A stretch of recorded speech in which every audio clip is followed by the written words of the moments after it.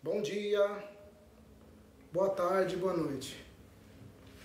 Mais uma vez aqui na Casa das Tubas, gravando vídeo para o canal. Tava falando sobre reforma de instrumento aí, os irmãos. É o irmão que pediu orientação de, sobre instrumento reformado, instrumento novo, instrumento, qual que é o melhor instrumento, prato, laqueado, tudo depende. Eu falei pra ele, tudo depende de gosto, né? Vou ajeitar melhor aqui.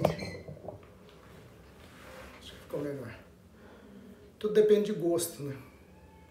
Eu gosto da prata, já falei em outro vídeo, tá no canal. Tudo, eu gosto da prata. Eu gosto particularmente, eu acho um instrumento muito lindo, diferenciado, lindo, mais caro do que os outros instrumentos, mas porém mais bonito, né? É, com mais dificuldade para limpar. Já gravei vídeo sobre isso também, tá no canal. Tudo certinho aí, né? Basta os irmãos ir aí no canal aí, ajudar a gente a divulgar o canal. Vários toques, várias dicas, né? Irmão que tá com a, com a tuba niquelada, ele tá limpando com silvo.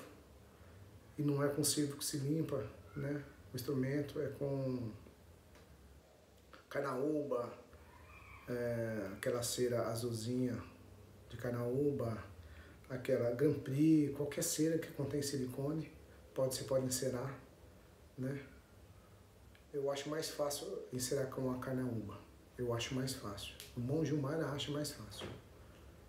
Então, prata, a prata limpa com silvo, a, a laqueada, né? A laqueada é mais simples, que você passa um pano úmido, uma flanela úmida, já dá aquele brilho, volta o brilho, tira a marca de mão, fica... É a mais fácil de limpar, eu acho. Mas a mais bonita, o que mais encanta é a prata, né? Porém, mais dificuldade.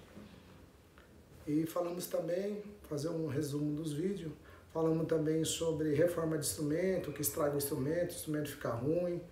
Eu já falei também que é mito isso, isso é muito mito, porque não existe isso, né? O instrumento tá bom, reformou, vai ficar a mesma coisa. Não tem, não tem, ah, ficou ruim meu instrumento que eu mandei reformar. Não, já estava ruim seu instrumento, só que quando você reformou, você notou, né? Ou alguma coisa ficou vazando, ficou pesado para tocar, aí desgaste pisto, aí é, é, é o natural do instrumento. Com o tempo vai gastando mesmo, que o atrito ali entre uma, a camisa do pisto e o pisto com o atrito, automaticamente ali ele vai com desgaste, vai sofrendo um desgaste natural, tá bom? Falei de tudo isso, os vídeos estão todos aí, né? ajuda nós a compartilhar o canal, essas dicas aí que são muito importantes, muito importantes para nós, né, músicos, aí com uma boa sepsia dos instrumentos, né, uma boa higienização, uma boa um, um, bom cuidado, né, com o instrumento, né? Sempre é bom porque eu já falei, é muito caro o instrumento, né? Então são essas as dicas aí para quem quer cuidar do seu instrumento e, né? Pode sugerir também é, alguma coisa para o canal aí.